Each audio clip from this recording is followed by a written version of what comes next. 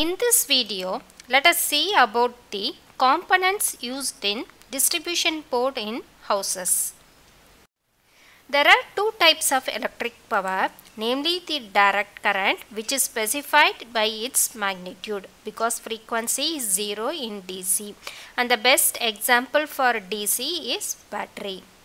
Then we have AC current which is called alternating current which is specified by its magnitude, phase and frequency.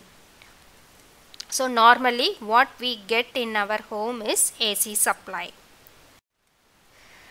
Let us see the types of alternating current. We have single phase AC and three phase AC for domestic applications. So single phase AC we know it is 230 volt 50 hertz. It may differ in other countries. And in three phase we have 415 volts and 50 hertz. So this is three phase uh,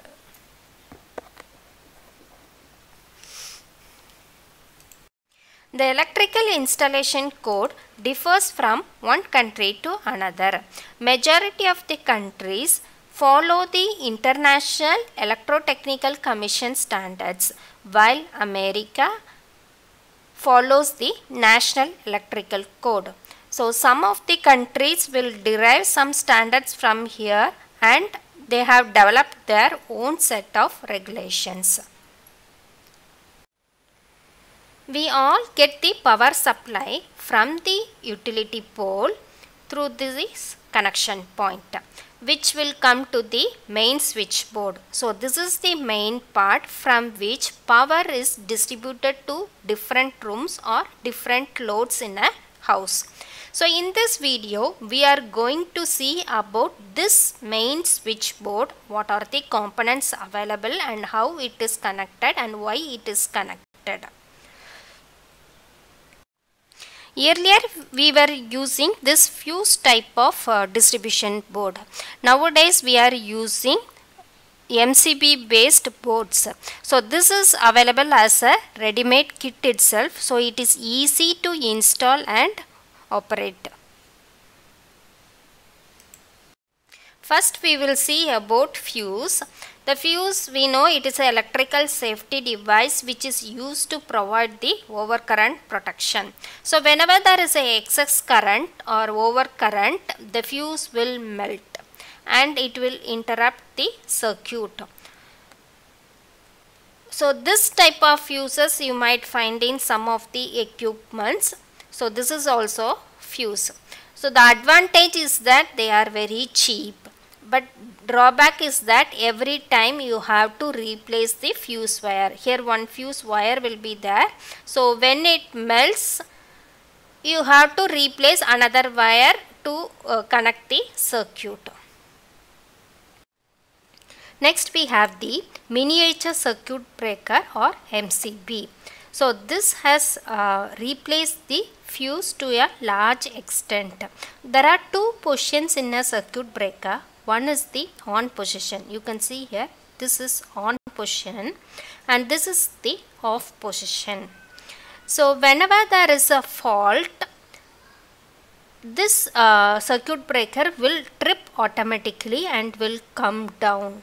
So by seeing this we know this particular part of the circuit has some fault and the tripper has tripped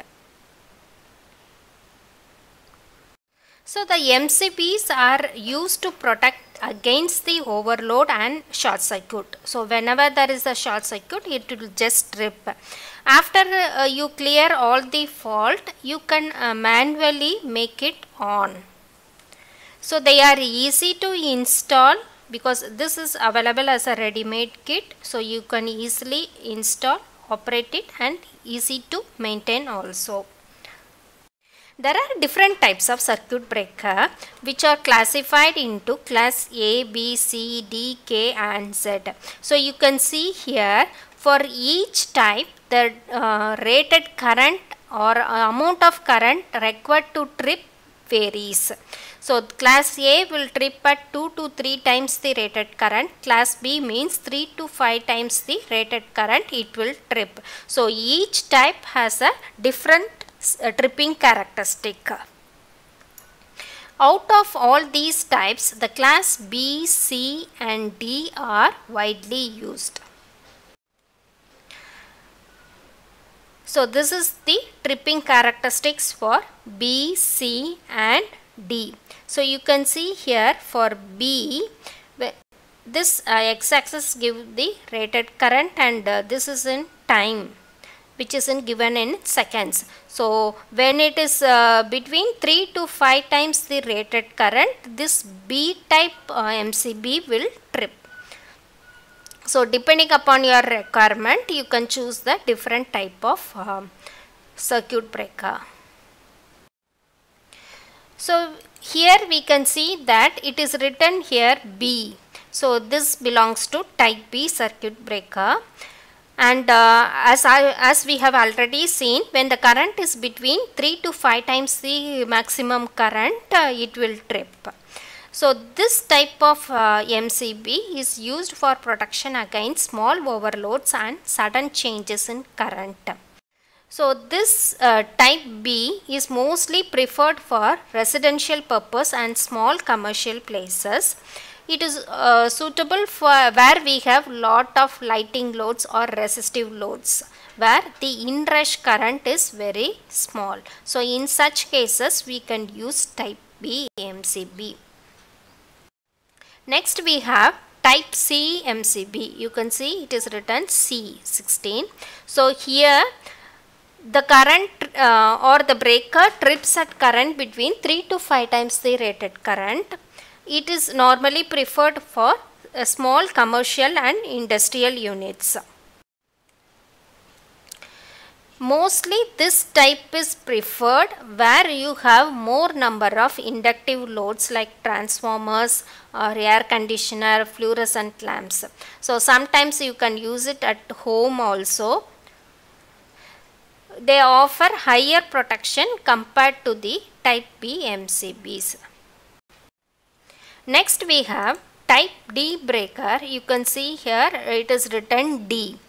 So this type of uh, breaker is the least sensitive one because it will trip only when the current is between 10 to 20 times the rated current.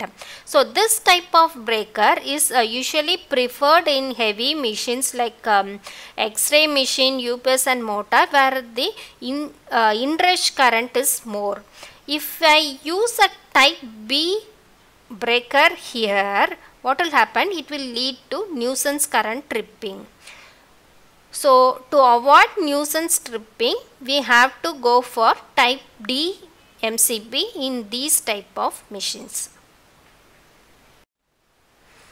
Next we will see about the number of poles on MCB so here you can see here only one pole is there. It is called single pole MCB here two poles are there or two terminals are there. Here three are there. So it is called tripole and four poles are here. It is four pole. So you can see the circuit also. Here two lines will be there here three lines and here four lines are there so what is this uh, number of poles on the MCB? It refers to the number of conductors that uh, MCB can interrupt in case of any fault. So if it is a single one, only one live wire can be interrupted. Whereas in this one, one live wire as well as one neutral wire can be interrupted or two phases can be interrupted.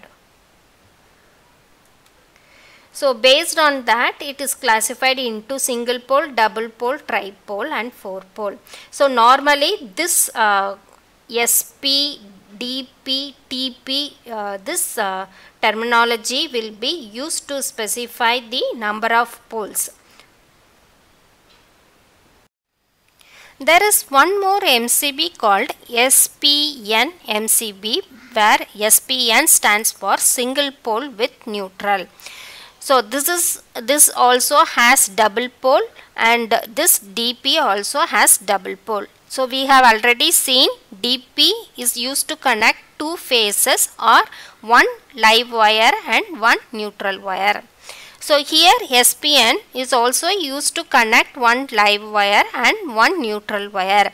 The major difference is that here neutral is not protected. So this neutral line is not protected here whereas in DP whatever you connect in both the terminals it will be protected. So here neutral will be just an isolating pole or you can say that the current through the neutral is not protected in case of SPN whereas in DP it is able to protect the current in the neutral also. Next we have triple pole uh, neutral or uh, tripole uh, with neutral.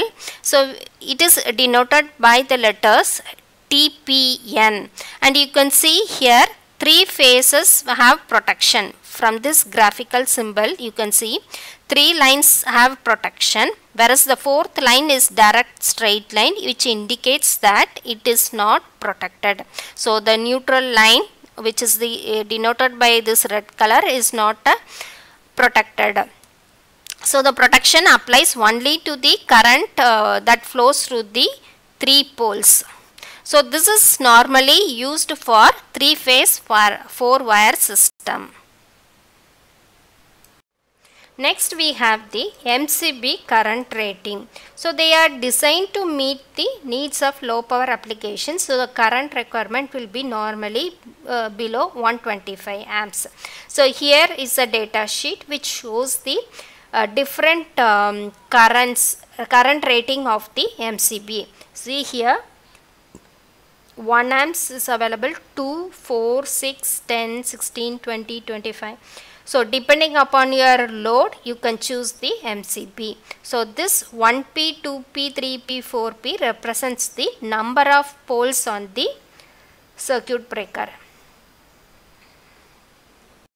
There is also one more term called MCCB which means that it is a molded case uh, circuit breaker. So this has the function same as the MCB except a small difference will be there. So here MCBs are normally used for low power application and they are um, available in the range of uh, 1 amps to 125 amps. Whereas this MCCB is used for high power application where the current will be very high. So normally this uh, is used in industries with very large electrical nodes. So we have seen about MCB but is MCB sufficient to prevent accident? No. Actually this is not sufficient. So to protect us or the person from uh, shock we need other devices like uh, residual current devices and residual current breakers. Next we will see about the residual current circuit breaker which is called RCCB. So you can see this is a double pole RCCB and this is four pole one you can see here only one switch is here and here one switch is there. Why it is called a residual current circuit breaker? We know Kirchhoff's current law, the sum of the currents entering a node should be 0 or uh, sum of the incoming current should be equal to the sum of the outgoing current or incoming current should be equal to the outgoing current in any closed loop.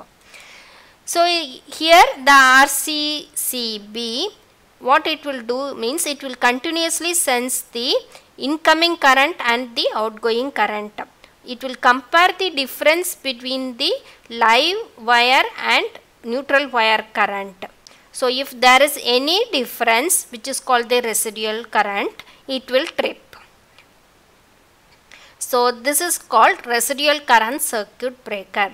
Actually, this is comparing the current between the live wire and the neutral wire so that uh, it will check whether any residual current is there because if only when there is any fault there will be difference between the live wire and the neutral wire. So here we can see that uh, a 30 milliamps is specified here. This is the residual current which the breaker can withstand or residual current at which the breaker will trip. So this chart shows how much milliamps the human body can withstand. So when you are subjected to some 2 milliamps you will get only mild shock but when it is 30 milliamps you may get suffocation. So depending upon this they have designed that um, this residual current will be 30 milliamps. So there are some devices RCCB which can withstand um, 100 milliamps also. So but uh, what is that important here is that your tripping time will be different for that. If 30 milliamps is subjected for some time, your, if you are uh, subjecting to 100 milliamps, your tripping time should be very fast because otherwise your heart will stop breathing. So tripping time also plays a major role. When you increase the current, your tripping time should be very fast. So RCCB is mainly used to protect us from the electrical shock as well as from the earth fault. So this RCCB are usually designed to detect the residual current.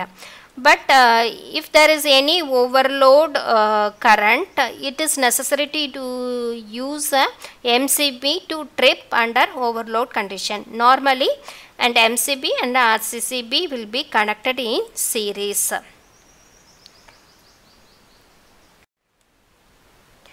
Next we have another option residual current breaker with overload function. So here you can see this type of diagram will be there. So this RCBO has a function of both MCB and RCCB. So it operates on residual current as well as overload current. Next we have the isolator or disconnector. So this is basically an isolator, it is a switch. That is manually you have to operate the switch. If you want to do any uh, repair work, you can switch off the whole circuit and do the electrical work. It does not provide any protection and it is operated manually only. Uh, the remaining parts. So in this video we have seen about the MCB, RCCB and isolator. But still there are many parts which will be discussed in the next video. So the points to remember here are each country has its own regulations. So if you take a MCB it helps to protect um, electrical installation against overload and short circuit MCBs are easy to install, operate and maintain and uh, RCCB if we see they protect us from the electrical shock and from earth fault. If you like the video do subscribe to Read Electric Vehicle channel. Thank you.